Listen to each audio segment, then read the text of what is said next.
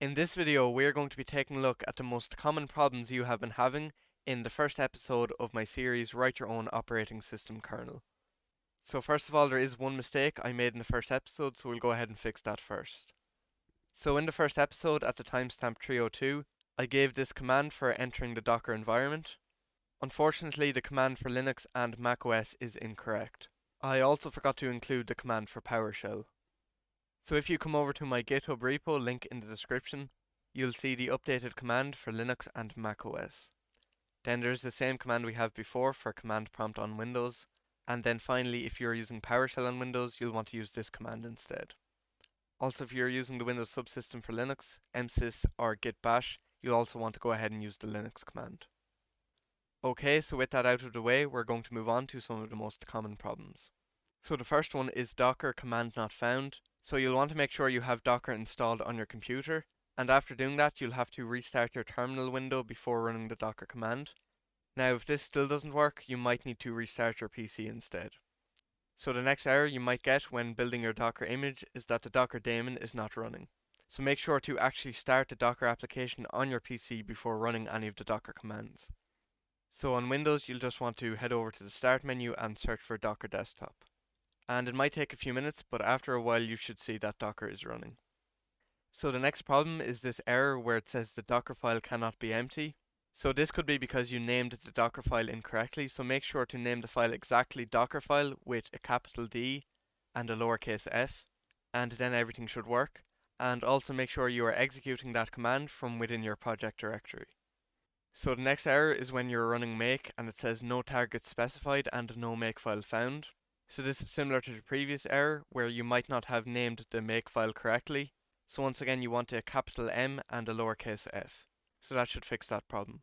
So another makefile error is where it says missing separator. So this is likely because you are using spaces instead of tabs in the makefile. And unfortunately makefiles only work with tabs. So if you are using Visual Studio Code, then inside the makefile you can come over here to the bottom right and select tab size and then select indent using tabs.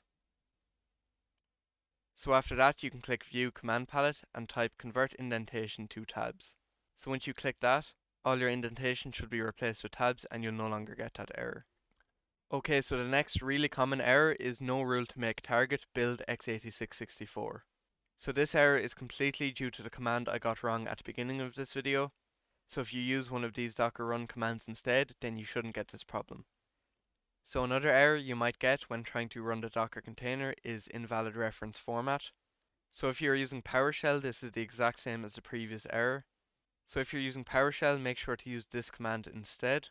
So for example, in Visual Studio Code, if it says you're using PowerShell, then you'll want to use this command. But alternatively, you can go ahead and switch over to command prompt. And if you're using command prompt, you can use this command instead. So hopefully at this point your building process should work fine, but when you try to emulate the kernel using QEMU, you might get a command not found error. So assuming you've downloaded and installed QEMU, you'll also have to make sure to add QEMU to your path. So if you are on Windows, you'll just have to copy the installation directory of QEMU and then search for environment variables in the start menu and go to environment variables, click path, and in here you can just click new and put in C program file QEMU and click OK. And now after restarting your terminal window, you shouldn't get this error anymore.